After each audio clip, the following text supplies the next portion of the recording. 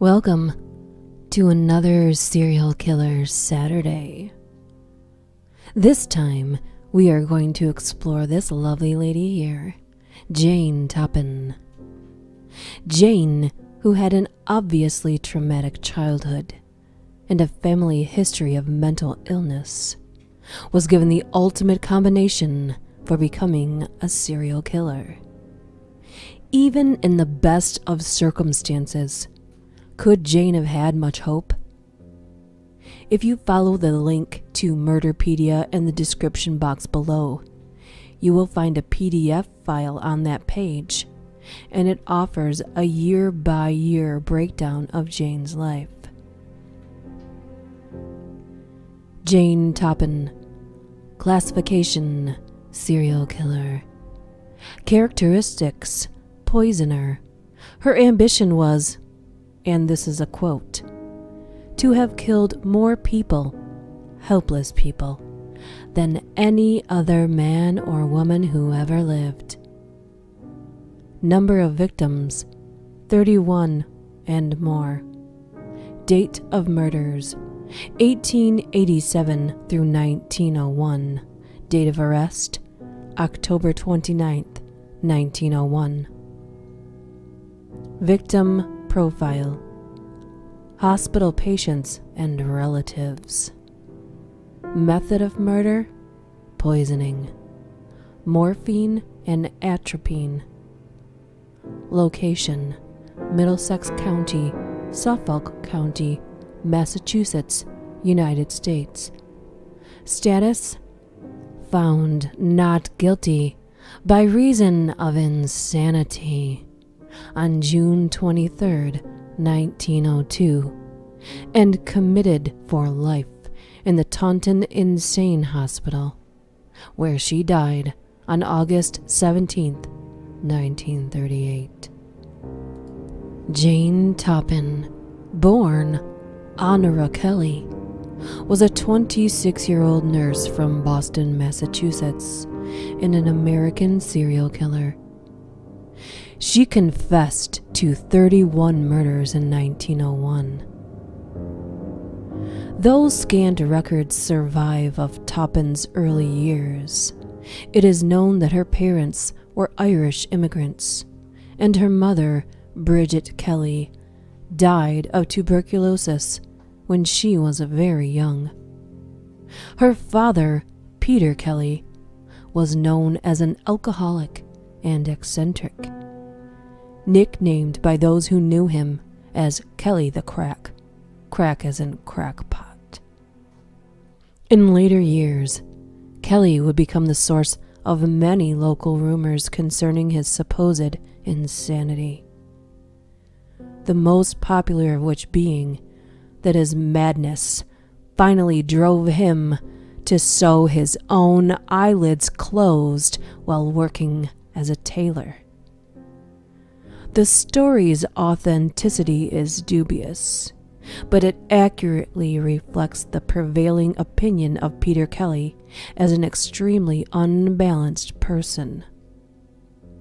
In 1863, only a few years after his wife's death, Kelly brought his two youngest children, eight year old Delia Josephine and six year old Honora, to the Boston Female Asylum, an orphanage for indigent female children founded in 1799 by Mrs. Hannah Stillman. Kelly, Kelly surrendered the two young girls, never to see them again. Documents from the asylum note that the two girls were rescued from a very miserable home. No records of Delia and Honora's experiences during their time in the asylum exist, but in less than two years, in November 1864, Honora Kelly was placed as an indentured servant in the home of Mrs. Anne C. Toppan of Lowell, Massachusetts. Though never formally adopted by the Toppans, Honora took on the surname of her benefactors and eventually became known as Jane Toppan. Delia remained in the institution until 1868, when she was placed as a servant in Athol, New York at the age of 12. Later, she turned to prostitution and eventually died a destitute alcoholic in squalid conditions. Jane excelled in school and seemed completely normal prior to being jilted by her fiance years later. After that, she attempted suicide and suffered through a period of odd behavior that included efforts to predict the future through analysis of dreams. Another sister, Ellen, joined her father in the lunatic asylum after suffering a mental breakdown in her 20s. Briefly stabilizing during 1880, Jane signed on as a student nurse at a hospital in Cambridge, Massachusetts. Once again, she excelled in her classwork, but supervisors and colleagues were disturbed with her obsession with autopsies dismissed after two patients died mysteriously in her care. She left the hospital without her certificate, forging the paperwork necessary to find work as a private nurse. Over the next two decades, she was hired by dozens of New England families, caring for the ill and elderly in several states. But few of Toppan's patients managed to survive her special treatment. In 1885, Toppan began training to be a nurse at Cambridge Hospital. During her residency, she used her patients as guinea pigs in experiments with morphine and atropine. She would alter their prescribed dosages to see what it did to their nervous systems. However, she would spend a lot of time alone with those patients, making up fake charts and medicating them to drift in and out of consciousness, and even get into bed with them. It is not known whether any sexual activity went on when her victims were in this state. But when Jane Toppan was asked after her arrest, she answered, that she derived a sexual thrill from patients being near death, coming back to life, and then dying again. Toppan would administer a drug mixture to these patients she chose as her victims, lie in bed with them, and hold them close to her as they died. This is quite rare for female serial killers who usually murder for material gain and not sexual satisfaction. She was recommended for the prestigious Massachusetts General Hospital in 1889. There she claimed several more victims before being fired the following year. She briefly returned to Cambridge but was soon dismissed for prescribing opiates recklessly. She then began a career as a private nurse, which flourished despite complaints of petty theft. She began her poisoning spree in earnest in 1895 by killing her landlords. In 1899, she killed her foster sister Elizabeth with a dose of strychnine. On July 4th, 1901, an old friend, Mattie Davis, died under Jane's care at Cambridge, and Toppan accompanied the body home to Cataumet, Massachusetts, for burial. She was then retained as the family nurse by patriarch Alden Davis. Jane finished off his married daughter, Annie Gordon, on July 29th. The old man's death, a few days later, it was blamed on a stroke. And his surviving daughter, Mary Gibbs, was pronounced dead on August 19th. Mary's husband demanded an autopsy. Mary's husband demanded an autopsy. And lethal doses of morphine were found in the three latest victims. But Jane was not finished yet. She moved back to her hometown and began courting her late foster sister's husband, killing his sister and poisoning him so she could prove herself by nursing him back to health. She even poisoned herself to evoke his sympathy. The ruse did not work, however, and he cast her out of his house. The surviving members of the Davis family ordered a toxicology exam on Alden Davis's youngest daughter. The report found that she had been poisoned, and local authorities put a police detail on Toppan. On October 26, 1901, she was arrested for murder. By 1902, she had confessed to 31 murders. In custody, Toppan confessed to 31 murders, naming her victims.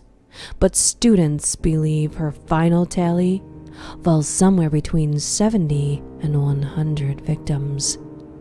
No accurate list of her hospital victims was ever compiled, and various New England families avoided the scandal by refusing official requests for exhumations and autopsies.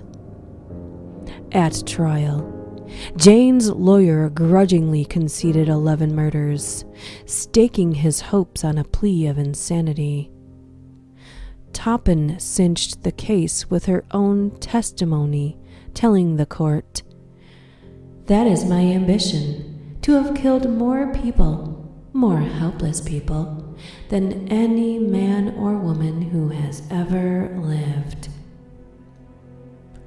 On June 23rd, in the Barnstable County Courthouse, she was found not guilty by reason of insanity and committed for life in the Taunton Insane Hospital. Soon after the trial, one of William Randolph Hearst's newspapers, the New York Journal, printed what was purported to be Toppan's confession to her lawyer that she had killed more than 31 people, and that she wanted the jury to find her insane so she could eventually have a chance at being released.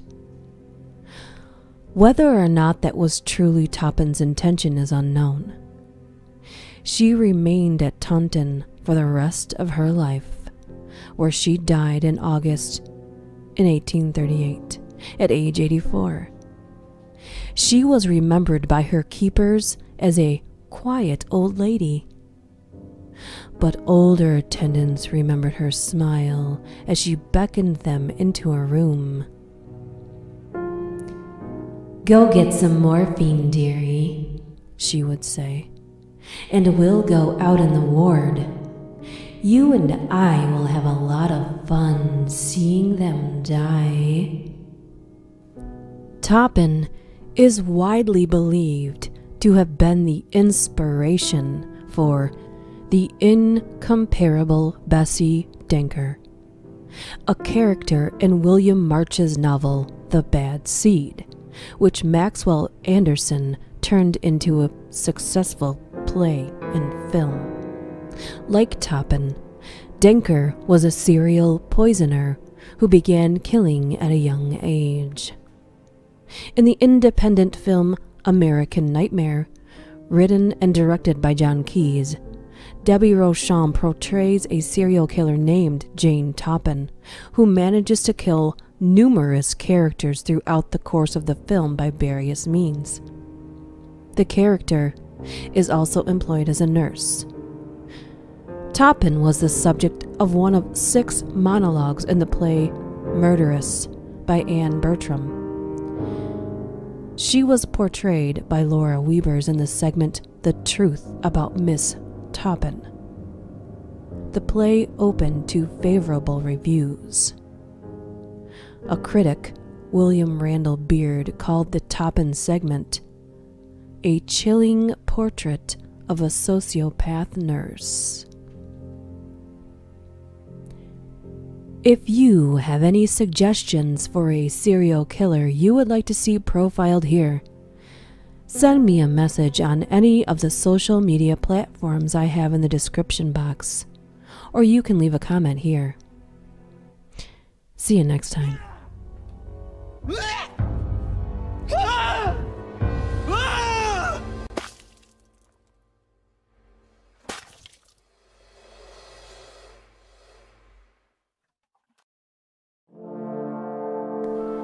Welcome back to another Serial Killer Saturday. Today we have this lovely lady here, Leonardo Cianciulli, also known as the soap maker of Correggio. She is responsible for three deaths. Now, three murders doesn't exactly seem that horrific compared to some of the others that have been featured here.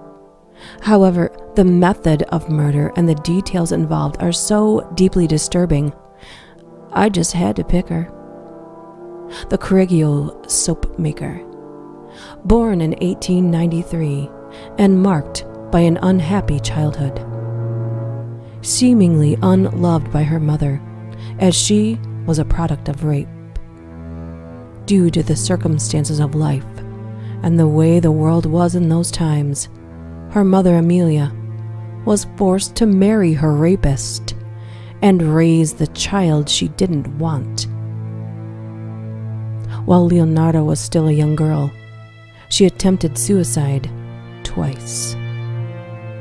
In 1914, according to some records, and 1917 in others, Leonardo Cianciulli married Raphael Ponsardi, a clerk in the registry office. Her parents did not approve of the marriage, as they had planned to marry her to another man. She claimed that on this occasion, her mother cursed them. The couple moved to the man's town, Lauria, in 1929, where Cianciulli was sentenced for fraud and imprisoned in 1927. When released, the couple moved to Lacedonia. In 1930, an earthquake destroyed their home, and the couple moved to Correggio, where Cianciulli opened a small shop. She was very popular and well respected within her neighborhood. Leonarda had 17 pregnancies three were miscarriages, while 10 of the children died at a tender age.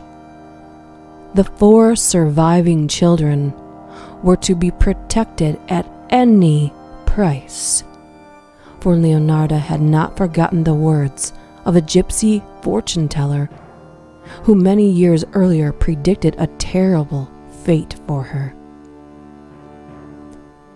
You will marry and have children but all your children will die. Later, she had her palm read by another gypsy who told her, In your right hand, I see prison. In your left, a criminal asylum.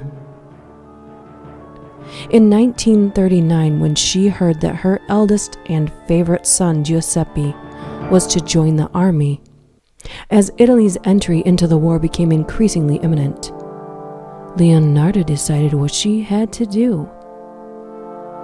She had to make human sacrifices to save her son's life.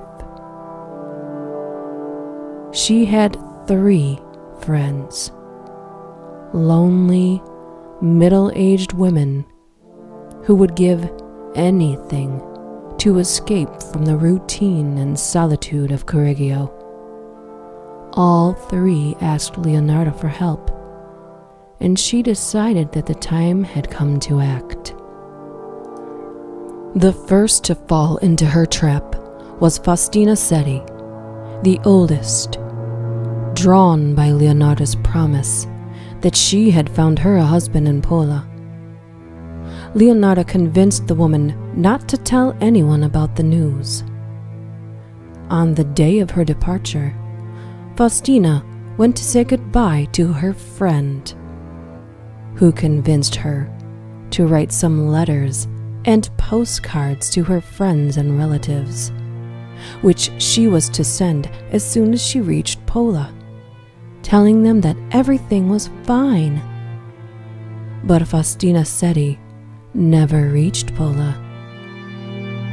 Instead, she was killed with an axe by Leonarda, who dragged the body into a closet and cut it into nine parts, gathering the blood in a basin.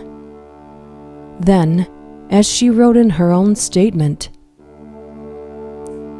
I threw the pieces into a pot, added seven kilos of caustic soda, which I had bought to make soap, and stirred the whole mixture until the pieces dissolved in a thick, dark mush that I poured into several buckets and emptied into a nearby septic tank. As far as the blood in the basin, I waited until it had coagulated, dried it in the oven, ground it, and mixed it with flour, sugar, chocolate, milk, and eggs, as well as a bit of margarine kneading all the ingredients together. I made lots of crunchy tea cakes and served them to the ladies who came to visit, though Giuseppe and I also ate them. The second victim was Francesca Soavi. Leonarda had promised her a job at the girls' school in Piacenza. On the morning of September 5th, 1940, she also went to say goodbye to her good friend before setting off. The script was the same. Leonardo convinced the woman to write two postcards, telling her she should send them from Correggio to inform her acquaintances that she was leaving, but without saying where she was going. Leonarda then attacked the woman and made the second sacrifice. The third and final victim was Virginia Cacioppo, a former opera singer. Then 53, reduced to living with her memories of the past in poverty. Leonarda offered her a job in Florence as the secretary to a mysterious theater impresario, begging her not to tell a soul. Virginia was enthusiastic about the proposal and kept the secret. On September 30th, 1940, she went to Leonardo's house, where she ended up in the pot like the other two.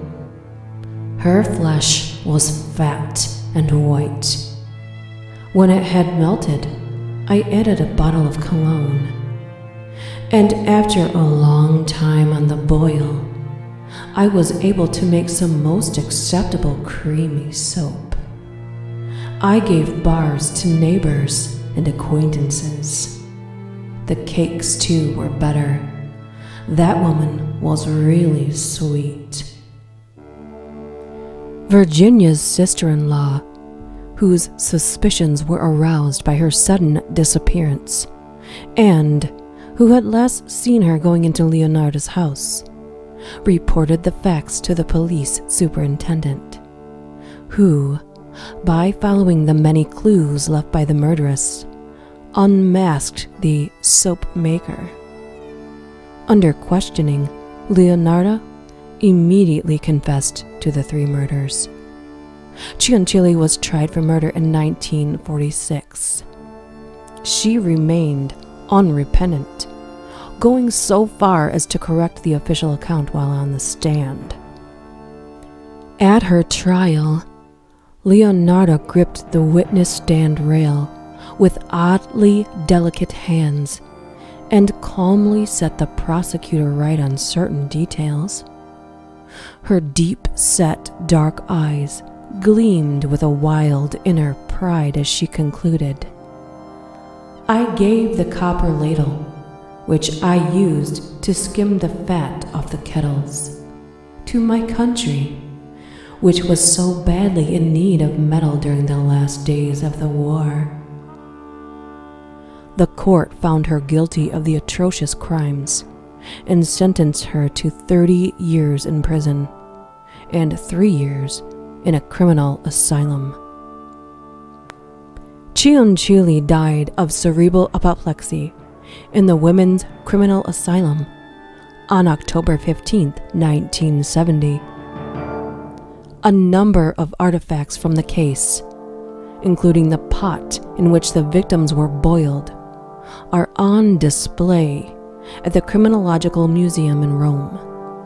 A darkly comic play about Chili, Love and Magic and Mama's Kitchen, began a run on Broadway in 1983. Hmm. An evening out to see a play about a sadistic soap maker, you say? Well, I always love a good show.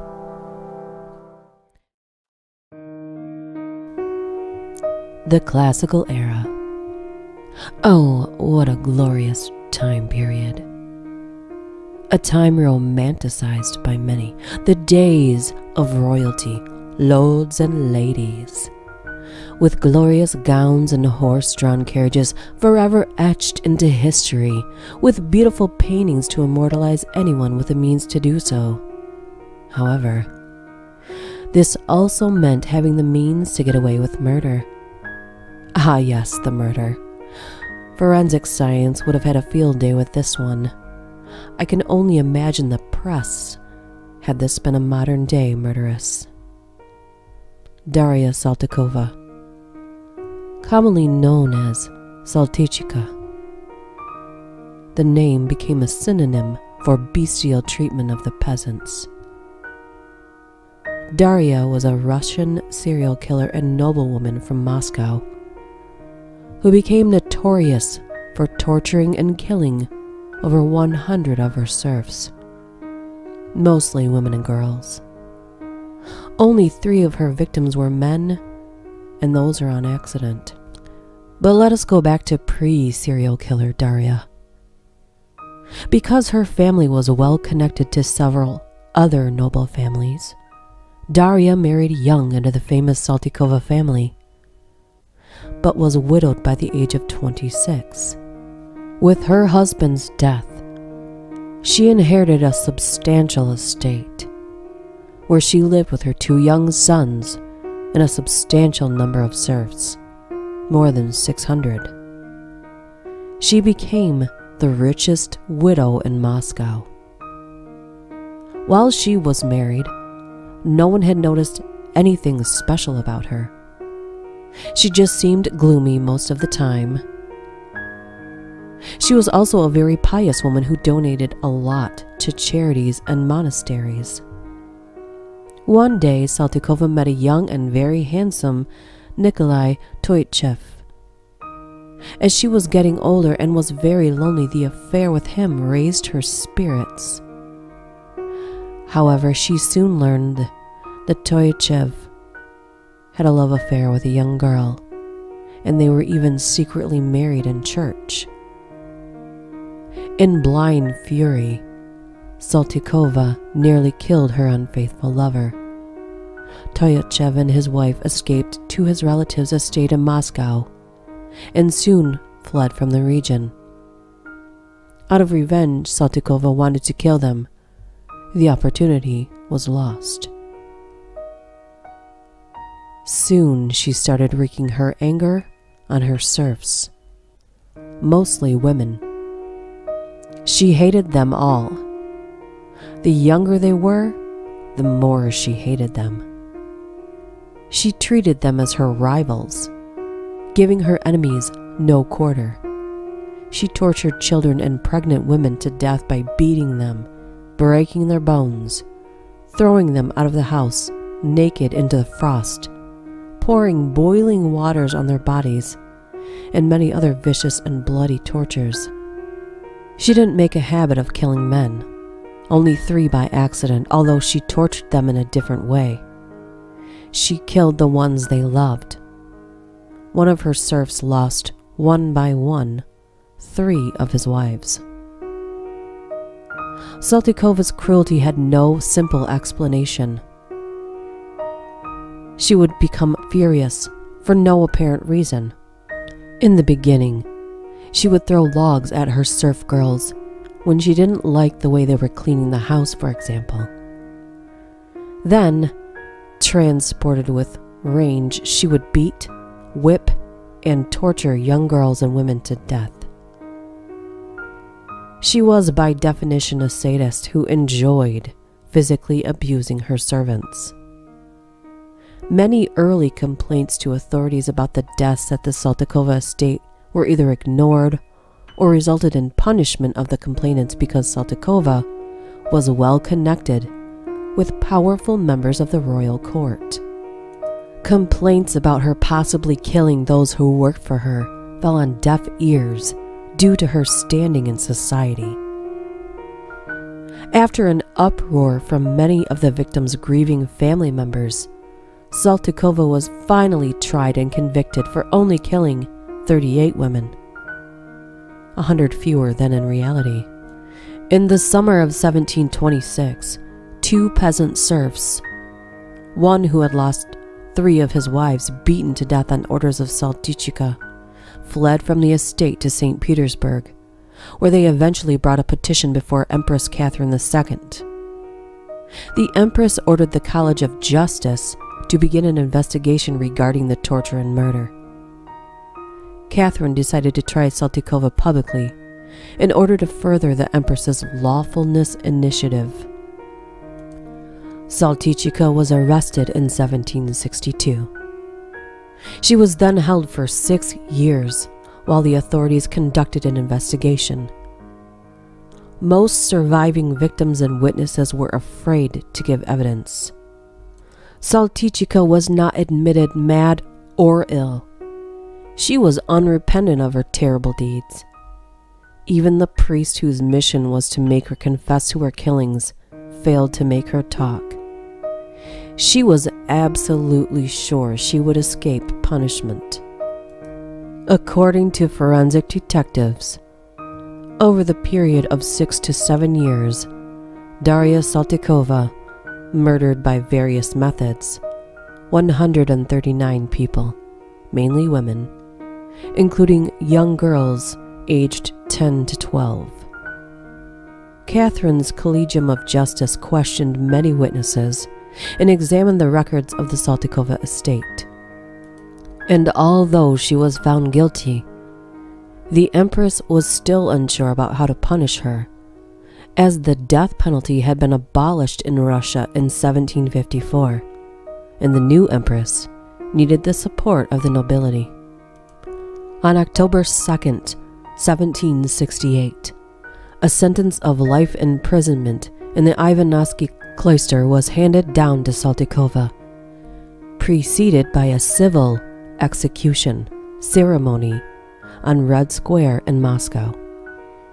At a public beating in Red Square, she was chained on a platform for an hour in front of the crowd, with a sign around her neck that said, This woman has tortured and murdered. She was then hauled off to live out her remaining years in the basement of a convent. Her sentence required her to be incarcerated in a monastery dungeon, in chains and in darkness. A windowless wooden room was built for her, so for a long time she lived in complete darkness. She was under 24 hour guard. A nun would bring food and a candle. After meals, the candle would be taken away. In the imperial verdict was also the prescription that read, From this reclusion, take her out in such a place during church services where she would be able to hear one without entering the church proper. In the penitentiary cell, fully dark, Saltykova turned her back on the world for 11 long years. The Moscow cloister was notorious as a place where many women of aristocratic lineage were imprisoned against their will. The families would typically make sumptuous offerings for the monastery toward the upkeep of their female relation.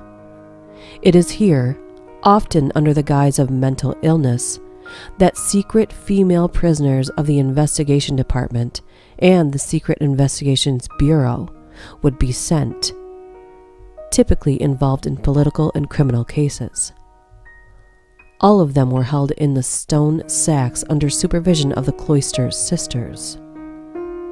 After 11 years, in 1779, Saltykova was transferred to one of the monastery buildings.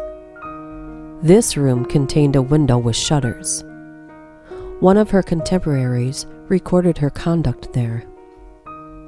Saltykova would spit at curious spectators would revile them and shove a stick at them through the window. Whether her mental illness was a result of her solitary confinement or was merely aggravated by it is unclear.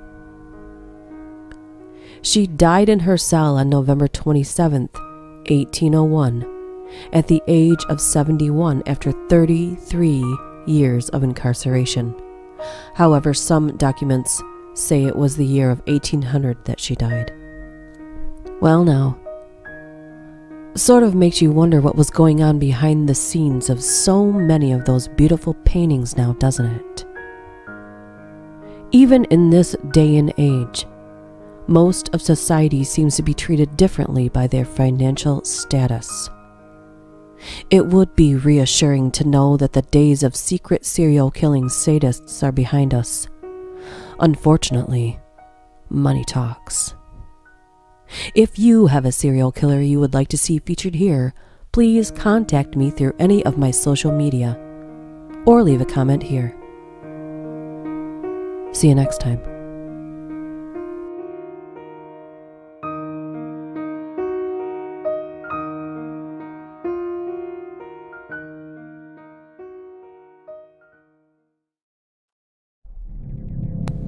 Well, well, well. Here we are. Another serial killer Saturday. You know, as I look for a person to feature on the channel, I am often surprised not only at the actions of the featured villain, but also by the fact that I had never personally heard of them before.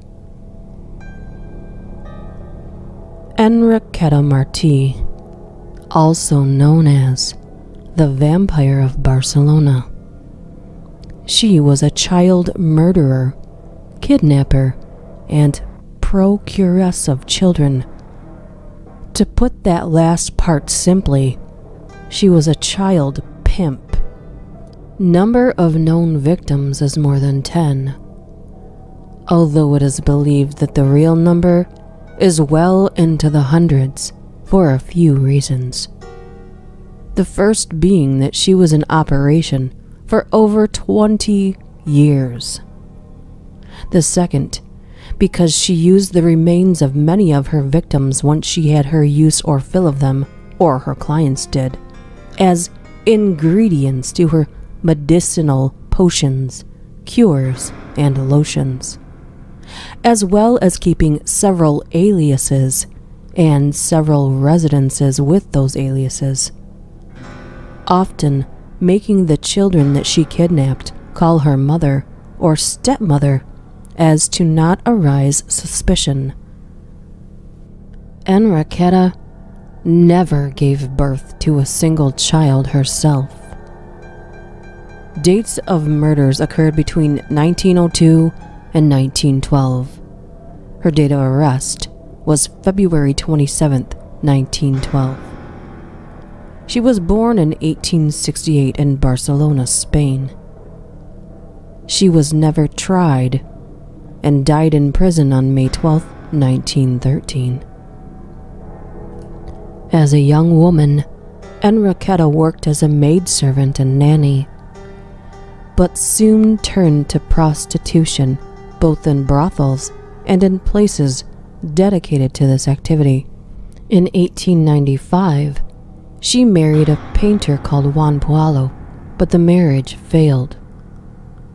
According to Pujaló, Enriqueta's affairs with other men, her strange, false, unpredictable character, and her continuous visits to houses of disrepute caused the separation.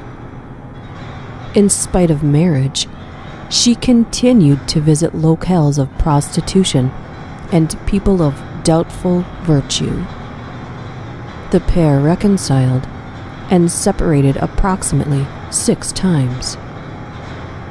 At the time of Enriqueta's detention in 1912, the couple had been separated for five years.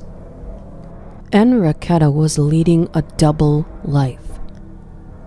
During the day, she dressed in rags and begged at houses of charity, convents, and perishes in the destitute parts of town where she selected children who looked the most abandoned. Taking the children by the hand, she made them pass as her children. Later, she prostituted or murdered them. She did not have any need to beg since her double work as a procurer and prostitute gave her sufficient money to live well. By night, she dressed in luxurious clothes, hats, and wigs, and attended places where the wealthy of Barcelona gathered. It is probable that in these places she offered her services as procurer of children. In 1909, she was arrested in her flat in Barcelona, accused of running a brothel that offered sexual services from children between the ages of 3 and 14. With her, a young man of wealthy family was arrested thanks to her contacts in high Barcelona society that were contracting her services as a procurer of children. Enriqueta was never tried, and the matter of the brothel was lost in the judicial and bureaucratic system. At the same time as she was prostituting children, she was also practicing as a witch doctor. The ingredients she used to make her remedies were made from the remains of the children that she was killing, who ranged from infants up to the children of nine years of age. From these children, she used everything that she could the fat, blood, hair, and bones that normally she turned into powder. For this reason, she did not have problems disposing of the bodies of her victims. Enriqueta offered salves, ointments, filters, cataplasms, and potions, especially to treat tuberculosis, which was highly feared at the time, and all kinds of diseases that did not have a cure in traditional medicine. Wealthy people were paying large sums of money for these remedies. She was finally arrested in a flat, mezzanine number 29 of Ponent Street more evidence was found in flats in Barcelona where she had lived previously. The forensic experts managed to differentiate a total of 12 children with what little evidence they were able to recover. In spite of suspicions, and because Enriqueta did not tally her activities, experts are unsure if she was indeed the deadliest killer that has existed in Spain. It is clear that she acted for many years in Barcelona. Additionally, the public suspected that someone was kidnapping babies. There were many children who disappeared without a trace, and there was dread among the population. On February 10, 1912, she kidnapped her last victim. Teresita Guitart. For two weeks, the city looked for her, and in the midst of the search, There was great public indignation since the authorities had been extremely passive regarding the missing children. It would be a suspicious neighbor, Claudia Elias, who would find Teresita's trail. On February 17th, Elias saw a girl with cropped hair looking from a casement from the interior court of her stairs. The flat was mezzanine number 29, Ponent Street. Elias had never seen this girl. The little one was playing with another child, and Claudia asked her neighbor when she saw her appear in the window if the girl was hers. The neighbor in question was Enriqueta, who closed the window without saying a word.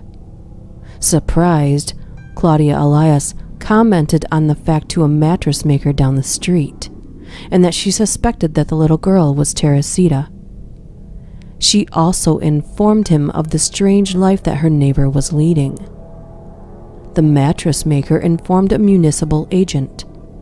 He, in turn, communicated this to the chief of the brigade.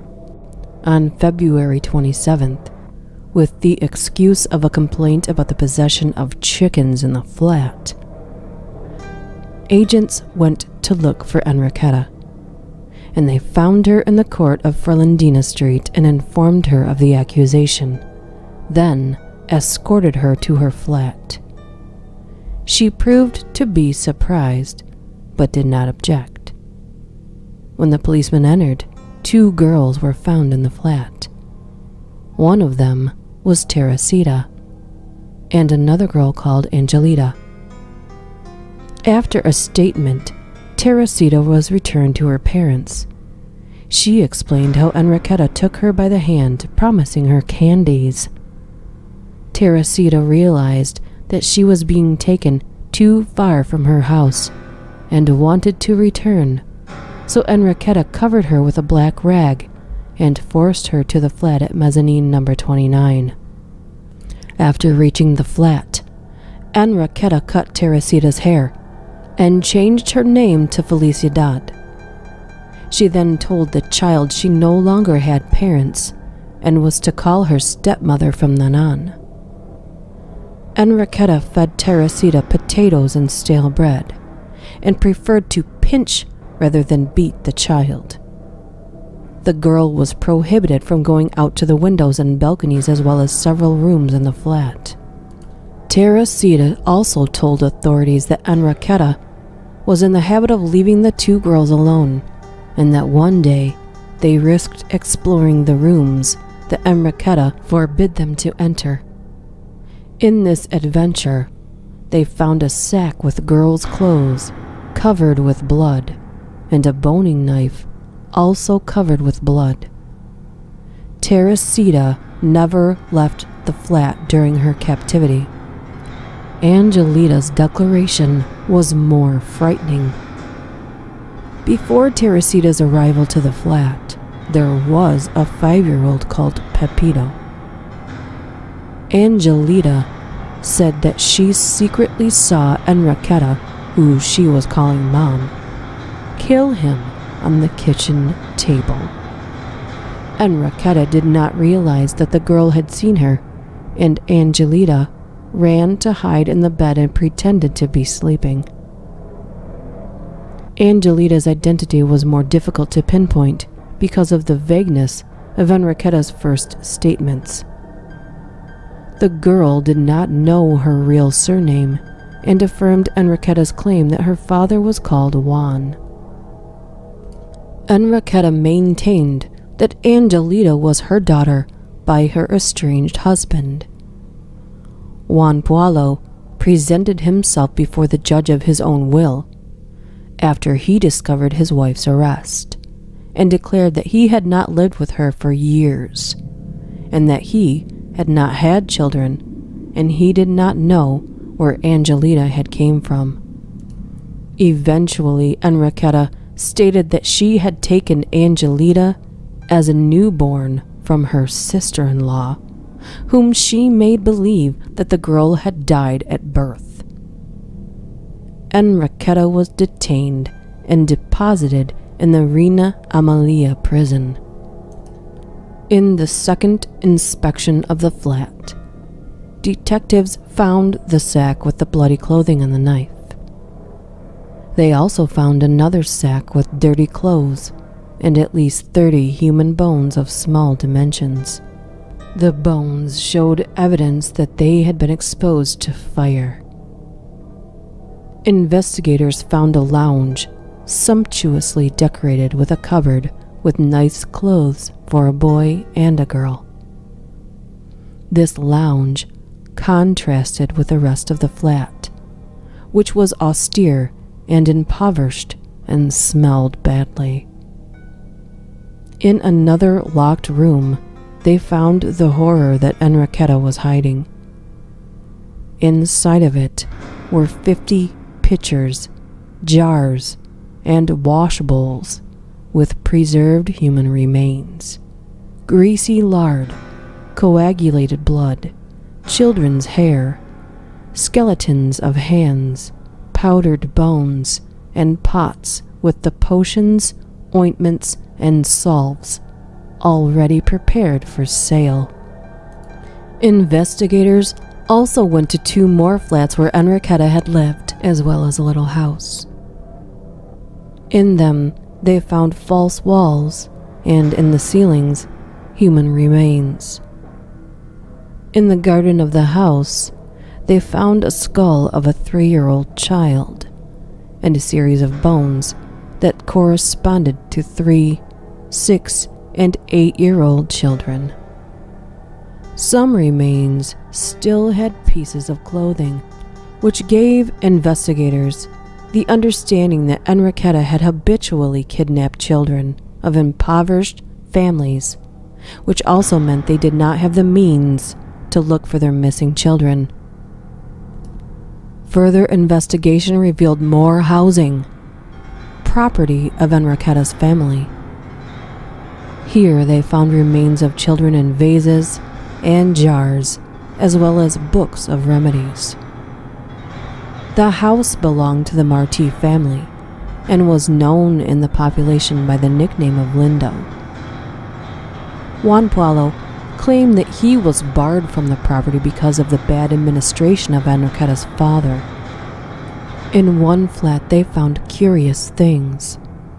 An ancient book with parchment covers, a book of notes where she had written recipes and potions in elegant calligraphy, a package of letters and notes written in coded language, and a list with names of families and very important figures in Barcelona.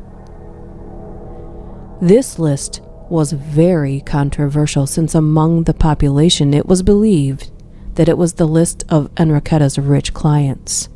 The public believed that the suspected clients would not pay for their crimes of pedophilia or of buying human remains to treat their health because of their wealth. The police tried to stop the list from leaking, but rumors ran that it was a list of doctors, politicians, businessmen, and bankers. Out of the fear of a public riot, the authorities calmed the public with newspaper articles explaining that in the famous list were the names of people who Enriqueta begged and that these families and personalities had been swindled by the lies and requests of the murderer. Enriqueta was imprisoned in Reina Amelia jail to wait judgment. She tried to commit suicide by slashing her wrists with a wooden knife. Public indignation exploded because the people wanted Enriqueta to face trial and execution by the garrote. The authorities of the prison made known through the press that measures had been taken to ensure that Enriqueta was not left alone. Three inmates with more authority in the prison were sharing cell with her. They had instructions to uncover her in bed when she had covered herself to avoid any hidden suicide attempt. Enriqueta was never tried for her crimes. She died a year and three months after her arrest and past the public outrage. at the hands of her prison mates. Her companions in prison killed her by lynching her in one of the prison patios. The untimely death of Enriqueta robbed authorities of the opportunity to completely expose all of her secrets. The kidnapper and murderer died on May 12, 1913. Officially, it is documented as a long illness, but the truth was it was a consequence of a brutal beating. She was buried secretly in a common grave situated on a mountain in Barcelona. There are no records of her early life, at least none that I could find. So there is no way to know what drove this woman to do such vile things. But as we have discovered in many of these cases, sadly, money talks. Allowing criminals and those seeking their services unspoken immunity from their crimes. Thankfully, in today's day and age, we are getting better and better at tracking down those who would commit such atrocities. Unfortunately, some are still slipping under the radar, stealing children and passing them off as their own right in front of our very eyes. If you have a serial killer you would like to see featured here, please contact me through any of my social media links or leave a comment or a message here. See you next time.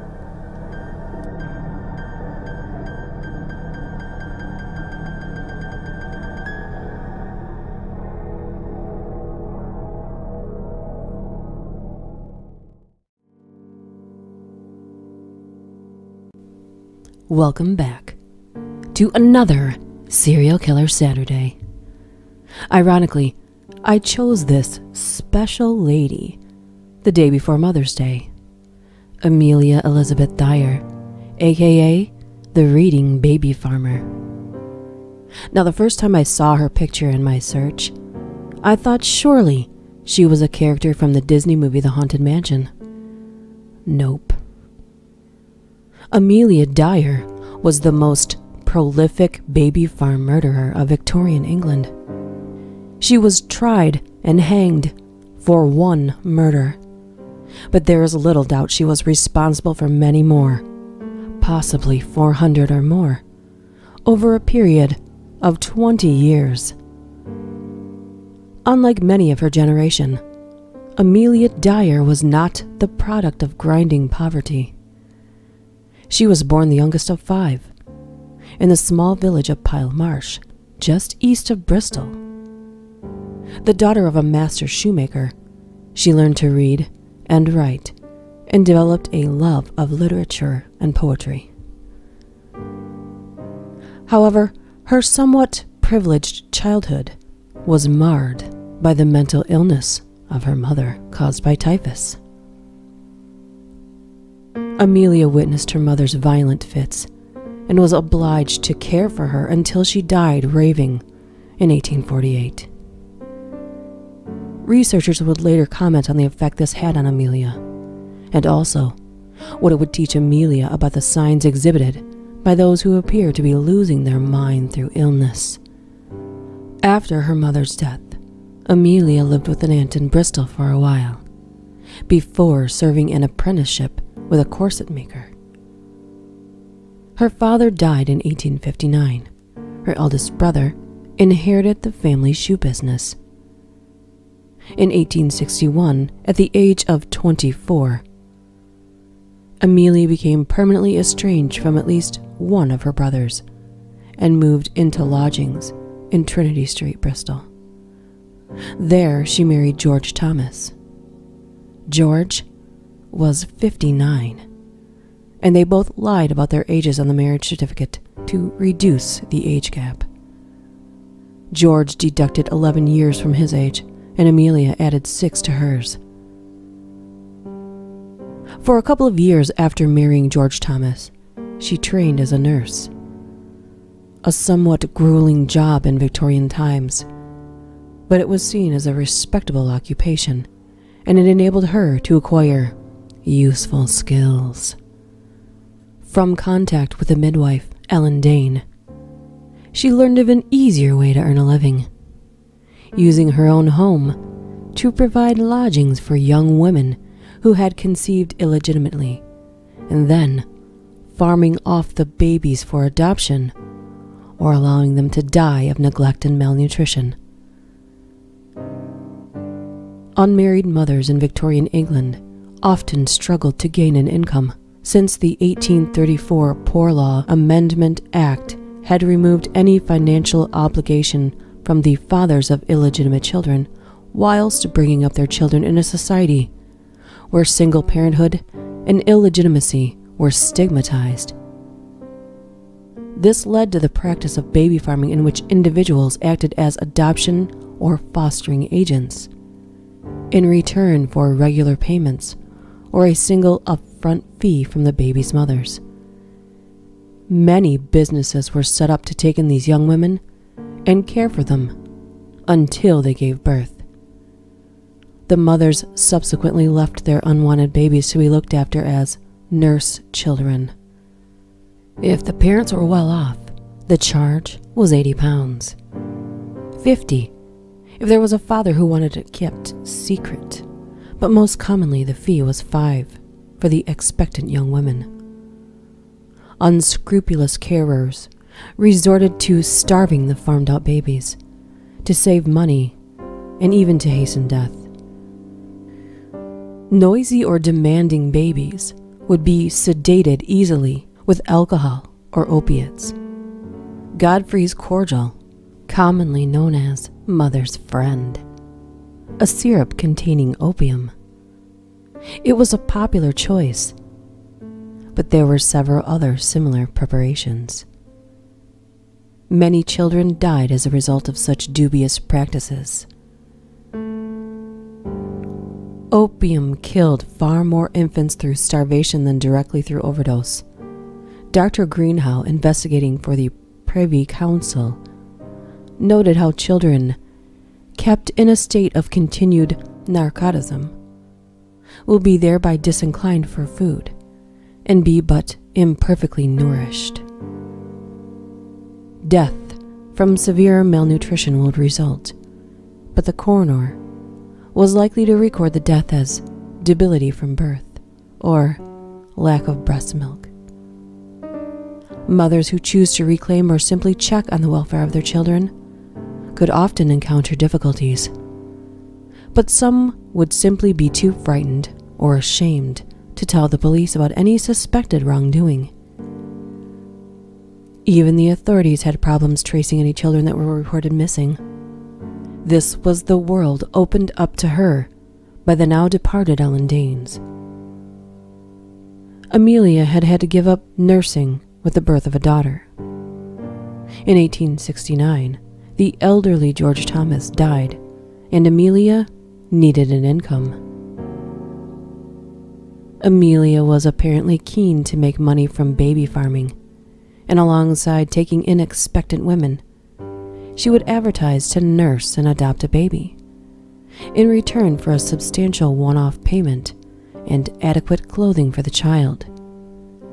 In her advertisements and meetings with clients, she assured them that she was respectable, married, and that she would provide a safe and loving home for the child. For quite some time, Dyer eluded the resulting interest of police. She was eventually caught in 1879 after a doctor was suspicious about the number of child deaths he had been called to certify in Dyer's care. However, instead of being convicted of murder or manslaughter, she was sentenced to six months hard labor for neglect. The experience allegedly almost destroyed her mentally, but her sentence was light compared to others who committed lesser crimes. Upon release, she attempted to resume her nursing career. She had spells in mental hospitals due to her alleged mental instability and suicidal tendencies. These always coincided with times when it was convenient for her to disappear. Being a former asylum nurse, Amelia knew how to behave to ensure a relatively comfortable existence as an asylum inmate. Dyer began abusing alcohol and opium based products early in her killing career. Her mental instability could have been related to her substance abuse. In 1890, Dyer cared for the illegitimate baby of a governess. When she returned to visit the child, the governess was immediately suspicious and stripped the baby to see if a birthmark was present on one of its hips. It wasn't, and prolonged suspicion by the authorities led to Dyer having or feigning a breakdown. Dyer at one point drank two bottles of laudanum in a serious suicide attempt. But her long term abuse had built up her tolerance to opium products, so she survived. Inevitably, she returned to baby farming and murder. Dyer realized the folly of involving doctors to issue death certificates and began disposing of the bodies herself. The precarious nature and extent of her activities again prompted undesirable attention. She was alert to the attentions of police and of parents seeking to reclaim their children. She and her family frequently relocated to different towns and cities to escape suspicion, regain anonymity, and to acquire new business. Over the years, Dyer used a succession of aliases. In 1893, Dyer was discharged from her final committal at Wells Mental Asylum. Unlike previous breakdowns, this had been a most disagreeable experience and she never entered another asylum. Two years later, Dyer moved to Caversham, Berkshire, accompanied by an unsuspecting associate, Jane Granny Smith, whom Amelia had recruited from a brief spell in a workhouse, and Amelia's daughter and son in law, Marianne, known as Polly, and Arthur Palmer. This was followed by a move to Kensington Road, Reading, Berkshire, later the same year. Smith was persuaded by Amelia to be referred to as Mother in front of innocent women handing over their children. This was an effort to present a caring mother daughter image. In January of 1896, Evelina Marmon, a popular 25 year old barmaid, gave birth to an illegitimate daughter, Doris, in a boarding house in Cheltenham. She quickly sought offers of adoption and placed an advertisement in the miscellaneous section of the Bristol Times and Mirror newspaper. It simply read, Wanted, respectable woman to take young child. Marmon intended to go back to work and hoped to eventually reclaim her child. Coincidentally, next to her own, was an advertisement reading Married couple with no family would adopt healthy child. Nice country home. Terms £10. Marmon responded to a Mrs. Harding, and a few days later she received a reply from Dyer from Oxford Road reading Mrs. Harding wrote that I should be glad to have your dear baby girl, one I could bring up and call my own. We are plain, homely people in fairly good circumstances. I don't want a child for money's sake but for company and home comfort. Myself and my husband are dearly fond of children. I have no child of my own. A child with me would have a good home and a mother's love. She, of course, left out the part about the murder.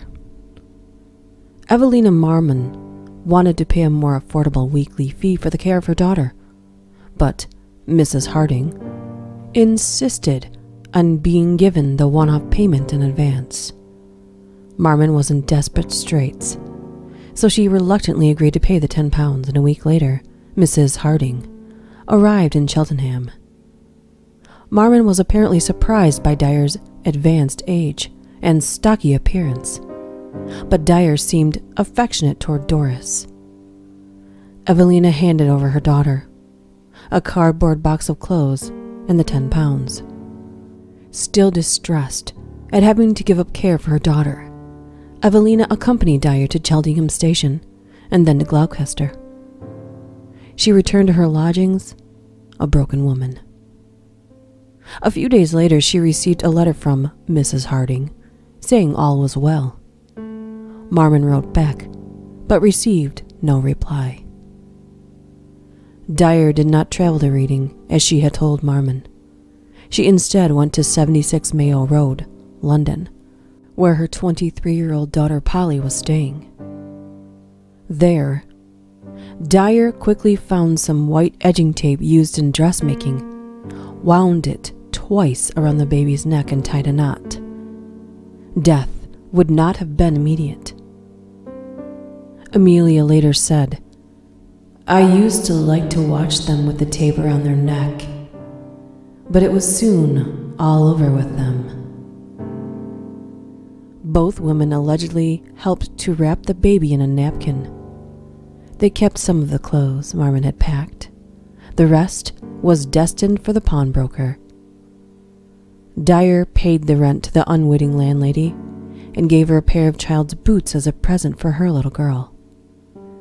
The following day, April 1st, 1896, another child named Harry Simmons was taken to Mayo Road. However, with no spare white edging tape available, the length around Doris's corpse was removed and used to strangle the 13 month old boy. On April 2nd, both bodies were stacked into a carpet bag along with bricks for added weight. Dyer then headed for Reading. At a secluded spot she knew well, she forced the carpet bag through railings into the River Thames. Unknown to Dyer on March 30th, 1896, a package was retrieved from the Thames by a bargeman. It contained the body of a baby girl, later identified as Helena Fry. The small detective force available to Reading made a crucial breakthrough. As well as finding a label from the Temple Mead Station, Bristol, he used microscopic analysis of the wrapping paper and deciphered a faintly legible name, Mrs. Thomas, and an address. This evidence was enough to lead police to Dyer, but they still had no strong evidence to connect her directly with a serious crime. Additional evidence they gleaned from witnesses and information obtained from Bristol police only served to increase their concerns. And police placed Dyer's home under surveillance. Subsequent intelligence suggested that Dyer would abscond if she became at all suspicious. The officers decided to use a young woman as a decoy, hoping she would be able to secure a meeting with Dyer to discuss her services. Dyer was then expecting her new client, the decoy, to call, but instead, she found detectives waiting on her doorstep. On April 3rd, Good Friday, police raided her home. They were apparently struck by the stench of human decomposition, although no human remains were found. There was, however, plenty of other related evidence, including white edging tape, telegrams regarding adoption arrangements, pawn tickets for children's clothing, receipts for advertisements, and letters from mothers inquiring about the well being of their children.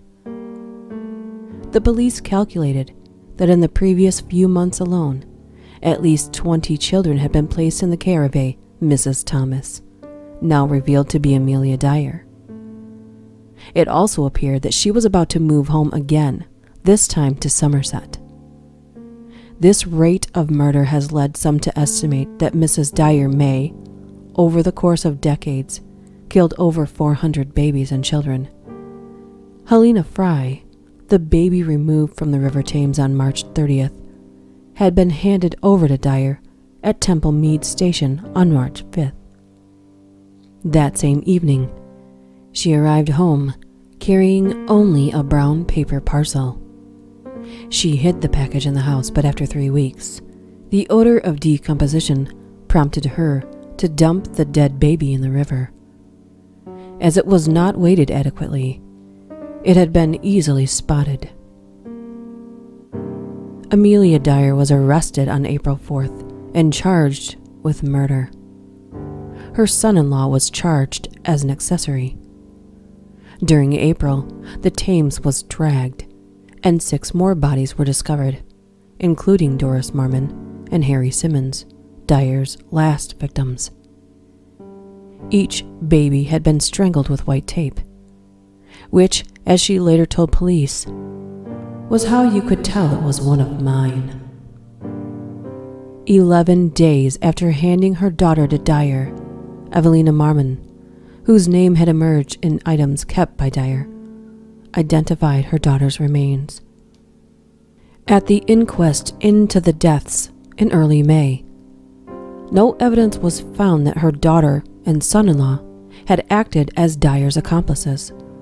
Arthur was discharged as a result of a confession written by Amelia Dyer. She wrote with her own spelling and punctuation preserved Sir, will you kindly grant me the favor of presenting this to the magistrates on Saturday the 18th? Instant I have made this statement out, for I may not have the opportunity, then I must relieve my mind. I do know and feel my days are numbered on this earth, but I do feel it is an awful thing drawing innocent people into trouble. I do know I shall have to answer before my Maker in heaven for the awful crimes I have committed. But as God Almighty is my judge in heaven, neither my daughter nor her husband, I do most solemnly declare, had anything at all to do with it. They never knew I contemplated doing such a wicked thing until it was too late. I am speaking the truth, and nothing but the truth, as I hope to be forgiven. I myself and I alone must stand before my Maker in heaven to give an answer for all witness my hand, Amelia Dyer written April 16, 1896. On May 22, 1896, Amelia Dyer pleaded guilty to one murder, that of Doris Marmon. Her family and associates testified at her trial that they had been growing suspicious and uneasy about her activities, and it emerged that Dyer had narrowly escaped discovery on several occasions. Evidence from a man who had seen and spoken to Dyer when she had disposed of the two bodies into the Thames also proved significant. Her daughter had given graphic evidence that ensured Amelia Dyer's conviction. The only defense Dyer offered was insanity. She had been twice committed.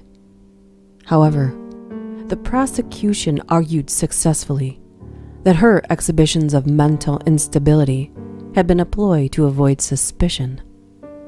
Both committals were said to have coincided with times when Dyer was concerned her crimes might have been exposed.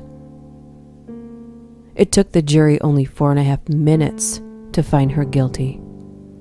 In her three weeks in the condemned cell, she filled five exercise books with her last true and only confession, visited the night before her execution by the chaplain and asked if she had anything to confess. She offered him her exercise book, saying, Isn't this enough? Curiously, she was subpoenaed to appear as a witness in Polly's trial for murder, set for a week and a half after her own execution date. However, it was ruled that Amelia was already legally dead once sentenced, and that therefore her evidence would be inadmissible. Thus, her execution was not delayed. On the eve of her execution, Amelia heard that the charges against Polly had been dropped. She was hanged on Wednesday, June 10th, 1896. Asked on the scaffold if she had anything to say, she said, I have nothing to say. Just before being dropped at 9 a.m. precisely. It is uncertain how many more children Amelia Dyer murdered. However, inquiries from mothers, evidence of other witnesses, and material found in Dyer's homes, including letters and many babies' clothing, pointed to many more.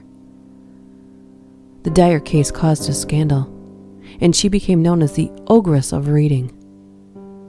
Subsequently, adoption laws were made stricter giving local authorities the power to police baby farms in the hope of stamping out abuse. Despite this and the scrutinizing of newspaper personal ads, the trafficking and abuse of infants did not stop. Two years after Dyer's execution, railway workers inspecting carriages found a parcel. Inside was a three week old girl. Although she was cold and wet, she was still alive. The daughter of a widow, Jane Hill, the baby had been given to a Mrs. Stewart for 12 pounds. She had picked up the baby at Plymouth and apparently dumped her on the next train. It has been claimed that Mrs. Stewart was Polly, the daughter of Amelia Dyer. Because she was a murderer alive at the time of Jack the Ripper, some have suggested that Amelia Dyer was Jack the Ripper and that she killed the prostitutes through botched abortions. There is, however, no evidence to connect Dyer to the Jack the Ripper murders. Unfortunately, baby farming is something that still happens today. The most recent one I could find in a search was in India of last year. In desperate times, desperate people make difficult and sometimes horribly wrong decisions. Though at the time, these people thought they were doing what was best for a child they could not care for by giving them to a caring family, not knowing they were sentencing their innocent children to a certain death. If you have a serial killer you would like to see featured here, please contact me through any of my social media links or email me at duchessdark676 at gmail.com. See you next time.